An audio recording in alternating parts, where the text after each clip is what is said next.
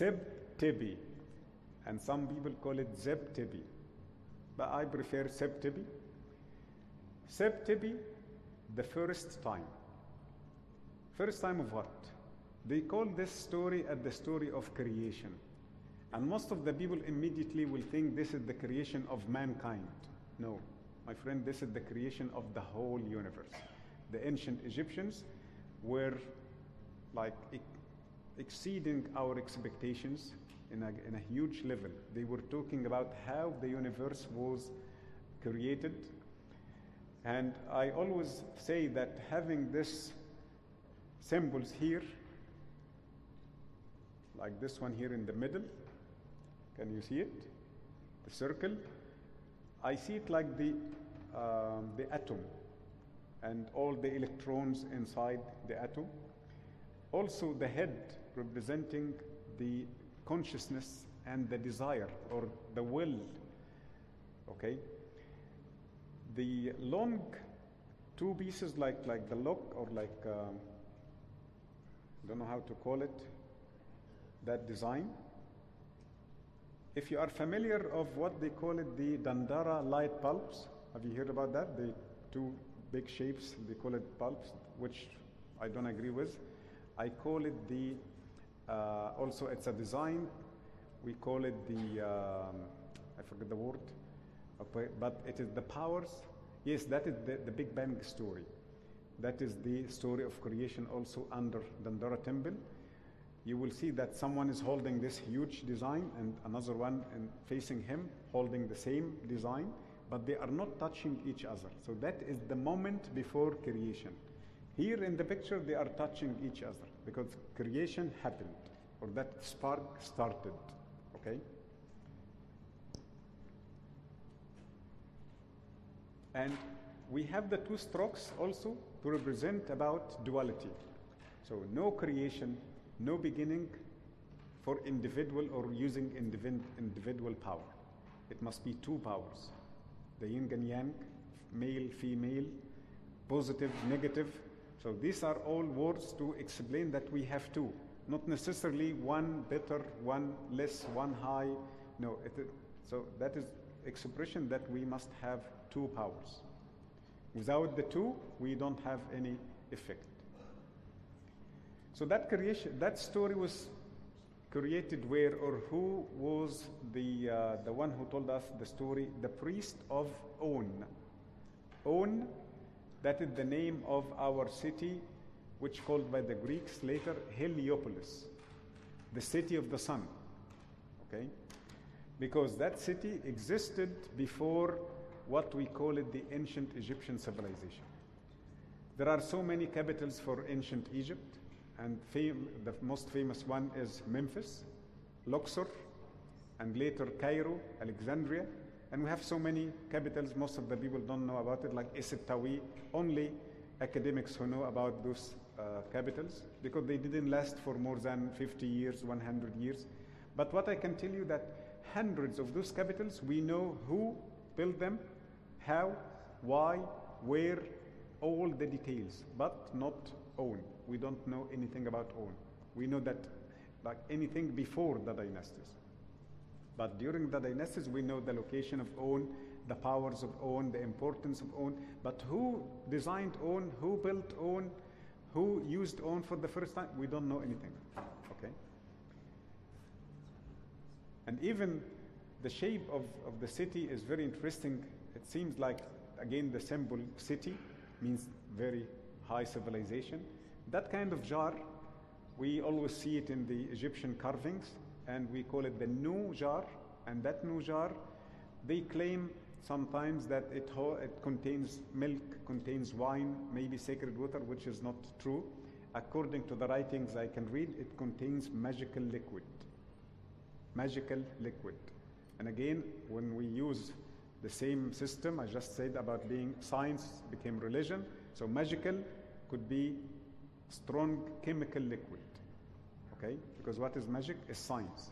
But we think because we don't know what is going on, so we call it magic. And this design of a tower, I see it as an obelisk covered with another design. So that is now the story, we call it the Ennead of Heliopolis. The word Ennead means nine figures or nine personalities. They say before creation there was what we call it primordial water. And that picture is not very accurate because that water is supposed to be silent water, no movement. But I couldn't have a picture for silent water. Every time I go, there was wind. So I have. So that is considered the picture number two. So now you imagine the picture number one is silent water, no single movement. Okay, and the ancient Egyptians called this ocean, according to academics, they call it noon. No, I because remember I said what there is no vowels, so it is n and n. Okay, so is there an English word means nothing? Can be from n and n? None. Exactly. So it is not noon, it is none. Nothing. So that is non ocean. So after the vibrations, it then became very strong vibrations, a small island came from the bottom to the top, and that island had the shape of a pyramid. And I made this, this is the exact shape of a pyramid. When, we, when you draw a pyramid from now on, don't just do a triangle. You must do the rectangular base underneath. Okay, without this base, it will be a triangle like any other triangle. But with the base, that is means pyramid. What is this base? This is uh, a design surrounding the pyramid. And who came to Egypt and who will come to Egypt, they will see that kind of platform surrounding the pyramid. It is very important. Atom created himself, or he was created and he was standing at the top of the pyramid. And the word atom can be explained as Adam, because T also is replaced by D. How I know? We have the famous name Cleopatra. Some people say our Queen Cleopatra. She was yes the Egyptian queen, but Cleopatra, by the way, she is not pure Egyptian.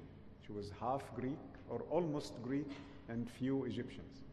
Cleopatra was not pure Egyptian uh, citizen. Her family are Greek family. So Cleopatra, her name was written in many temples like Isis temple, Cleopatra was D, not T. And other Roman rulers, their names start or have T in the middle, written with D. So I can say atom is Adam. But wait a minute, I just said we are not talking about human level yet. This is the cosmic level. So atom is the atom. Okay?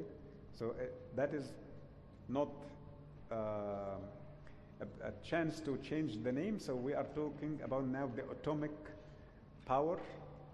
And atom is the representation of this kind of beginning of creation. That is the table. Atom, according to the story, from a, a child style, okay, because I don't know who they were targeting with the story because that story written on papyrus, he sneezed. He said, Hachu, so he created Shu. and then he spit it. And the word spit in Arabic language and ancient Egyptian means taf, yitif. Like spit is tif. So he created tifnut. Tifnut. So atom, one atom, and then two atoms, and then will be four, and then the story of creation will start. And they say Shu and Tifnut get married. And by the way, Tifnut looks like Sekhmet. If some of you are aware with Sekhmet, the other lioness style or shape. Tifnut is a copy from Sekhmet. But we shall say the opposite. Sekhmet is a copy of Tifnut. Tifnut is the, the, the grandmother. Sekhmet is a mother. Tifnut, the grandmother. Both of them were represented as two sphinxes. We call them the Ruti. So Tifnut is a sphinx and Shu is a sphinx. And they were always represented like two lines, recumbent lines next to each other. They get married and they had Geb and Nut. Geb, earth, Nut, sky. Did you realize something? We said Geb, earth. So the only nation said Father Earth are the ancient Egyptians, not Mother Earth. But there is a kind of significance. We are not talking maybe about the uh, energy of Earth itself, maybe the surface. So Geb is earth and Nut is sky. And I want you to learn something. Any uh, word ends with T in the Egyptian language means feminine. If you close your eyes and you hear any word with T at the end, it means feminine. The only exception is Hatur or Hathor. That is the only exception. There is no T at the end. But all of them have, must have T, and this is the feminine sign of ancient Egyptian language. They get married, Geb and Nut, and they had births of two lovely girls and two boys, Nephthys, Set, Isis, Osiris. But let's go back. It seemed that Shu Tifnut, before they get married, they had the permission of Atum. But Geb and Nut, they were in a hurry, don't know why.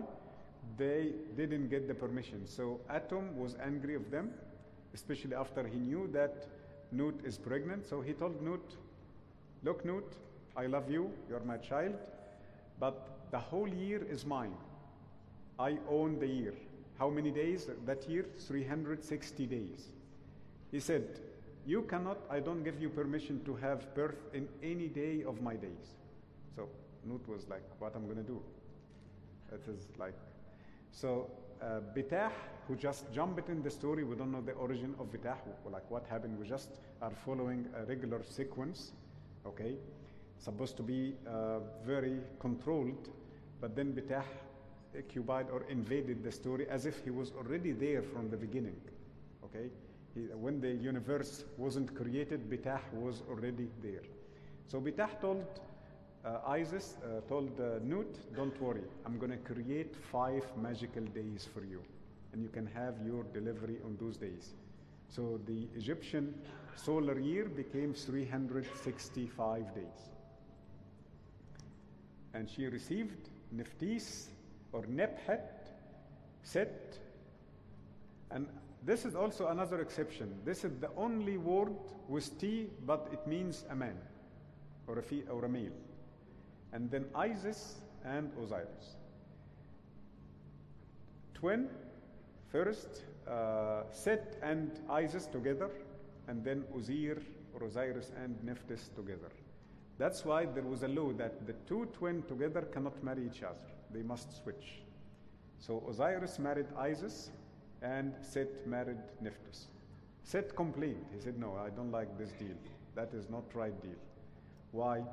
Uh, in a kind of a, nice way for tour guides and Egyptologists, they talk about that Isis was more beautiful, uh, nicer. That is, of course, not correct. Because if you look above the head of Isis, you can see what the chair. That is a chair symbol or the throne symbol. The head, above the head of Nephthys, is a gate shape, like a door gate from the ancient style or the old style of gates. So, who will marry Isis will sit on the throne, will, be, will have the physical power, will control, will become the ruler. Who will marry or will be connected with Nephthys? He will cross the gate. He will leave this dimension. Like in this whole room now, if someone will cross the gate, he will not be with us anymore. So Seth was smart. He understood what is going to happen. He didn't want to leave this community.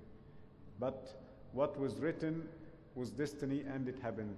Osiris married Isis and he became the eternal ruler of ancient Egypt. And Set married Nephthys and he crossed to the desert side, to the desert, if you still remember that word. And that's why look to his color is very uh, strong red, but Osir is green because Osir is our uh, soil, but after the plantation after the green planet. Okay? Um, Set, that is why the story says Set was very angry of his brother, jealous, and he killed him. And the story is saying that he killed him twice. The first time he plotted against him and he made like a party and they made a coffin, a very nice coffin inlaid with jewelry and gold and silver. And he said, Who will lay down or lie down in this box or this coffin, will fit his size, he will take it. Which is very interesting. Like, who would love this kind of gift? Like, someone will give me a coffin as a gift. It's the worst gift ever. But because this is a kind of respect for the afterlife. Because the ancient Egyptians understood that they have a very short first life and very long second life. So that was one of the best gifts in ancient Egypt.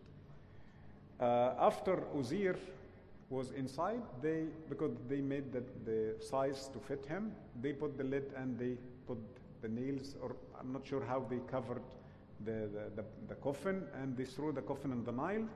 The Nile current took the coffin to the Mediterranean Sea, and from the Mediterranean Sea it went to the Lebanon coast to Byblos.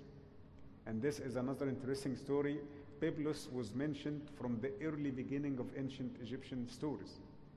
So Egypt and Lebanon now have very good connection way back from the beginning of the Egyptian history. And the story said that uh, Isis changed herself as a kite.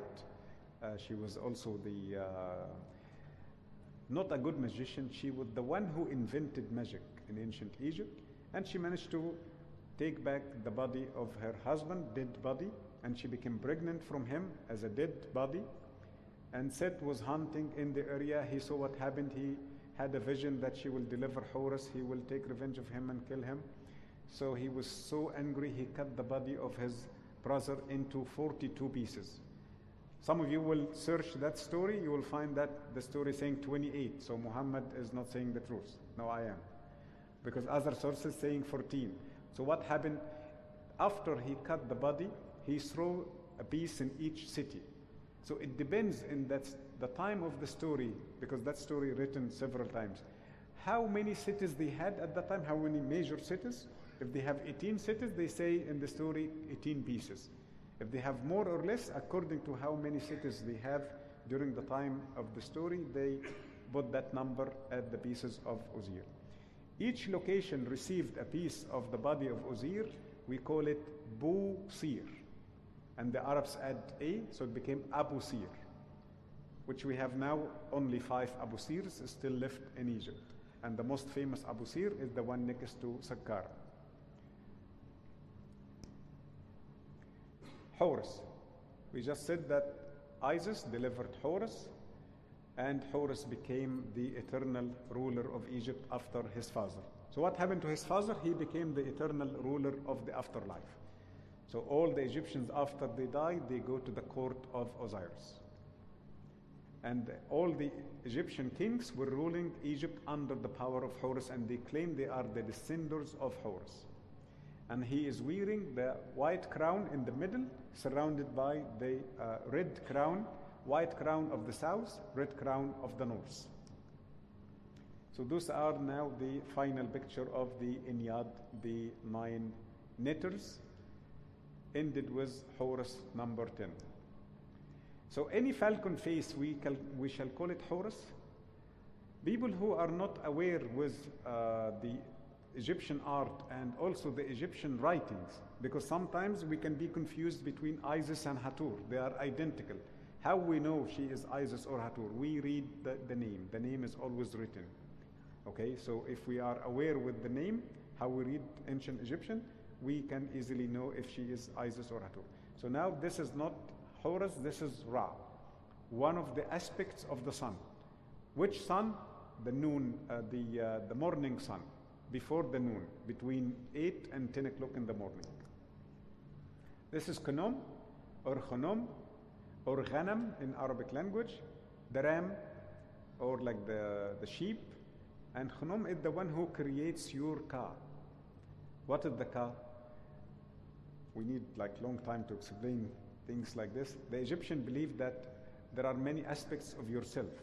Okay, the human person is many things, but there are three major parts: body, spirit or soul, and spirit. Body, soul, spirit. Get body, ba soul, and ka. Pure body, physical body, spiritual aspect, and the ka is in between. Not, com- not complete body, not complete spirit. something in between. So it could be what we can call it the ghost, but that ghost is not like in the movies. Now it is your intentions, your consciousness, your desires. Because there are so many things in your body, like feelings from the skin, from the physical uh, body, uh, thoughts from the mind, okay, uh, dreams from the spirit. But there are some things we, we don't know what is the source of it, like feeling guilty, how you feel guilty, which part of your body uh, makes you feel guilty, okay? You feel uh, pessimistic, optimistic. You have uh, desires also can be explained as chemical uh, substance in the blood from the brain. But guilty, hope, uh, positive, uh, creative, okay? So that is the consciousness. That is the ka. Who creates the ka? Knom. And he is always represented sitting on the uh, pottery wheel, creating the ka, and the moment the person is being born, he would finish his work. Like the ka and the body will be created at the same moment. Bitah, the uh, representation of wisdom in ancient Egypt. And if we replace P with F, which makes sense, like when we say photo, we start with P in, in English, right? Or phone. So P is F in most of the cases. So Fattah in Arabic language means the opener or the one who start everything. Okay? Do you see similarity between him and the Oscar statue? Right? Because Bitah is the, the master craftsman. Bitah is also the chief of talent. That's why I believe that who designed Oscar statue had a good, good, good knowledge of ancient Egyptian symbols. So he knew that to receive the Oscar, you must be very talented in your uh, business or in your job. So that is Bitah. We come to what we all argue about and some important expressions. Dynastic Egypt, pre-dynastic Egypt, and lost civilization of Egypt. Okay? The word dynastic is the word royal family. But why we don't use the word royal family? Because royal family means members of certain family. But the word dynastic means members of certain style or system. Could be one family, could include someone else, another ruler came after or before, but he has the same type of religion, the same type of art, the same system of government. So they include him with the same dynasty. So the term dynasty is bigger than royal family. The same like the 18th dynasty. Most of them were one big family, Tutmosis 1, 2, 3, Amenhotep 1, 2, 3, Akhenaten, Tutankhamun. They are one family. But the end of the family or the end of dynasty is Horemheb. He has no connection with the family. He was the army leader later. But because he kept the same style, he kept the same system, so he was included as part of the dynasty. Who invented that term or who made the dynasties? Our priest Maniton in the second century BC. So it is not modern uh, Egyptology work. So when we come to dynastic Egypt, so shall we start with 3500 BC? And most of the history books are putting this date as for sure. Or 9700 BC, the last ice age, the cataclysm of the flood at the uh, end of the last ice age, according to many geologists, including Dr. Robert Schoch, or 36,000 BC. Why 36,000 BC? We have two sources for this number. The first source is uh, Perseus from uh, Sumerland. His uh, chronology of the Sumer Sumerian rulers reaching the number 36,000 years ago or BC. And Maniton wrote in his book that he was talking to Ptolemy II, one of the Greek rulers of Egypt, around 250 BC, telling him that the first Egyptian ruler was before you, my king, 36,000 years. That is in his book, the Book of Maniton, called Egyptica. And Turin Papyrus, King List, in Turin Museum in Italy, it listed uh, four groups of rulers of ancient Egypt. Group number four, humans, like in Ramses, King Tutankhamun, Akhenaten, Hatshepsut. The third level, we call it the Shimsu Hur, the followers of Horus, and the second level called the demigods, okay, half divine, and the first level are the Neters. Only if we go to the third level, Shimsu Hur, it is three, 23,000 years. Imagine that one section only uh, 23,000 years. And the first and the second, we cannot uh, make sure how many years because so many damaged sections. But as an example, uh, Tos or Jehuti, 17,000 years. Other Neters, Horus, 7,000 years. So uh, that number could exceed 36,000 years easily. So for sure, the dynastic are not 3,500 BC. So I will be conservative and say I may agree more about 9,700 BC. How many dynasties we have? 30. 1, 2, 3, 4 till 30. We include from 1 to 8 or from 1 to 6, we call it Old Kingdom. And 11, 12, Middle Kingdom.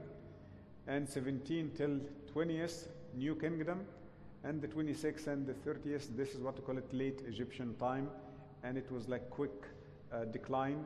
And in, like during a time of one king or two, some kind of high uh, technology and, and some kind of powers, but then decline. And so many invasions happened to Egypt at that time 26 to uh, 30 uh, dynasties. That is, was about 500 BC. Egypt was invaded by the Libyans, by the Sudanese, because during the time of persecutions from priesthood to another priesthood, the Egyptian priests, like the priests of Atum, escaped to Sudan uh, priests of Uzir escaped to Libya. They made civilization there and then they conquered their homeland. But unfortunately, in a wrong way, they claim in academic books that they are the Libyans. No, they are the Egyptians who lived in Libya, the Egyptians who lived in Sudan. And could be the same for Middle East. So after the Sudanese and the Libyans, we were occupied by the Assyrians, by the Babylonians, and by the Persians, and then the Greeks, and then the Romans, and then the Arabs, and then the French, and the Ottomans, and the British. We, we suffered for 2,000 years of occupation. Egypt was invaded uh, between 300 or close to 400 BC till 1952. Almost 2,000 years of invasion. Too much, right? Pre dynastic Egypt. Now, this we come to the best part of the story. So, we have dynasties, and we know the story of the dynasties, like all, the, all what you see in movies about the ancient Egyptian kings and style of dress. There was an earlier time, earlier people, we call them pre dynastic, and they mean primitive people pre-dynastic in this case, very primitive people. They were gathering their food, hunting, uh, lived in caves or maybe in very uh, simple designs of uh, houses or huts. But why they try to make us believe that it is before 3500 BC? This is what we call it subliminal message. When I give you a date, I say before, your mind will stuck close to this date. Because I can easily say 9,000 is before 3,500 BC, right? But 3,600 also before. 3,700 so they want us to focus in that time close to 3,500 BC.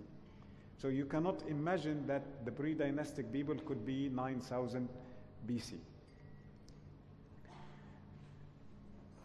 And when we say primitive people, it is not us who said that. It is the academic books according to the discoveries they made and according to what we found in their tombs.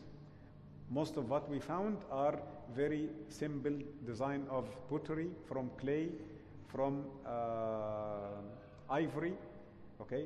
But some other stuff, we will come to this later. But they admit that there was no any kind of technology, there was no any kind of tools, they were using their hands. And there is some development happened later and the best development happened during the pre-dynastic time is the pottery wheel. That was the best development.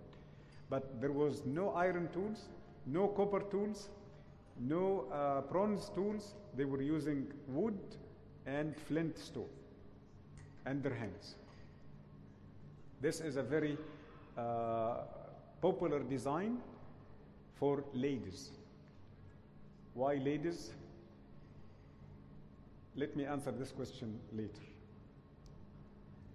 Now, a blade from uh, also uh, pottery was some that is considered another development during that time because instead of having just plain design, now we have some uh, art. Another piece from clay, which is, in my opinion, very good piece. Now, instead of having drawings only, they start to design the jar itself to look like a bird. They add some kind of legs and uh, make it sophisticated. This is one of the early designs that this jar was baked under the sun, not in an oven, and they add a layer of tar uh, inside to make it smooth. So if they put some kind of liquid instead of water, water would be no problem. But if they put uh, oils, it will not stuck with the, uh, the side of the jar from inside. And will block, how do you call it, uh, those little holes can allow the uh, humidity to go outside. Okay, it's, it's like a kind of, I don't know the word, but as if we have like uh, the cotton fabric, okay, air can go through or some water can go through. So also pottery is like this, but in a very uh, difficult way. It's not like fabric, not easy like fabric. So if you put polluted water on pottery jar, after three nights will be pure. Yeah, like filter. Exactly. So oil will block that, so they add the tar to avoid doing this. So we are looking to all the designs made by the pre-dynastic people, but you will see that they appreciated in a great way women designs. Okay. More than uh, male designs. Comes from ivory.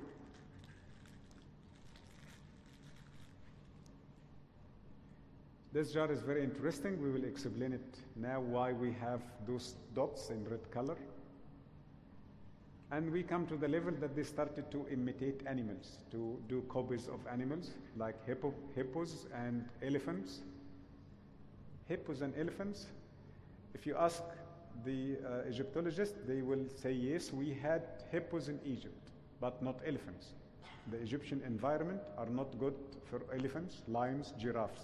But in the ancient Egyptian art, we have them represented in a great way, also in the Egyptian language. We have words to explain the whole elephant, part of the elephant, the legs of the elephant, each one means different thing, the same for the lion. And we can see from an early beginning, they represented the elephant. Hippos lived at the uh, uh, far south of Egypt in uh, the Nas, uh, what should we call it Lake Nasser now, but it used to be also a lake in the ancient times, but in a smaller scale. Uh, south of Egypt, north of Sudan. But how come they had elephants? So we need, no one yet uh, involved in this subject, so we need a zoologist to tell us when Egypt could, could be a proper environment to have those animals. Because this will also change the timeline to hundreds, maybe of thousand years ago. This is the typical uh, mask for maybe uh, the, uh, the chief of the tribe or the, um, the priest. We are not sure. So when we see those slides, you don't feel any kind of technology, right? Did you have any feeling like this that any of these things were made by tools? Made by hand, okay? Baked under the sun also. Uh, this is one of the very interesting pieces. I may don't care about anything except the design of triangles. What is this? Are these triangles pyramids or mountains? I call it pyramids, but academics call it mountains. And they say, look, Muhammad, the ancient uh, or the pre dynastic people were looking to the environment and they were imitating the environment. That's why they made hippos and they don't say elephant because they're going to stuck with this statement. And they made gazelles. We have desert gazelles, okay? But they forget that I am Egyptian, okay? Because most of those academics are not Egyptians. So when I look to my country, I don't see mountains. And if you visited Egypt, have you seen mountains? Egypt is almost flat ground. We have only one place of mountains, is Sinai, and it is not like this. Okay? It is not, uh, how do you call it, pointed summits. No, it's like more like round mountains. And there is a- another possibility far uh, west south of Egypt, just one high hill. And by the way, we have what we call it in Cairo El Muqattam mountain. It's not a mountain, just a hill like maybe 60 meters. But because we don't know mountains, so any high thing we call it mountain. So we don't have mountains like this in Egypt at all. So this primitive man, when he looked at the environment, he didn't see mountains. He saw pyramids. So he made pyramids. Another one, or maybe the same one, but from another side. And we can see more pyramids underneath. Back to the regular jars of pre-dynastic. Okay, this is what we call it amphora. Uh, if we take this out from the base, we cannot make it stable because it has very pointed, pointed base. So we, they must have a design for it or uh, stab it into the sand. And then they developed a little bit. They found what we call it slate stone or schist stone, um, like limestone but in black color, not uh, hard material, okay, almost soft. And they also made designs of different animals and birds on it. Look carefully to this design, that kind of wavy thing, because we will need it later. Okay. Ah, this is Flinders Petrie schedule. We call it the sequence, uh, the date sequence. Flinders Petrie, he was originally a British engineer, but involved in uh, Egyptology. He did great job, but he didn't say in clear words that ancient Egypt has so many sophisticated questions. But he left evidences for us, and he left keys for us. This is one of the keys. If you look carefully to what he left, he made the development of the uh, pottery jars, the pottery jars, because we are going to see something else now.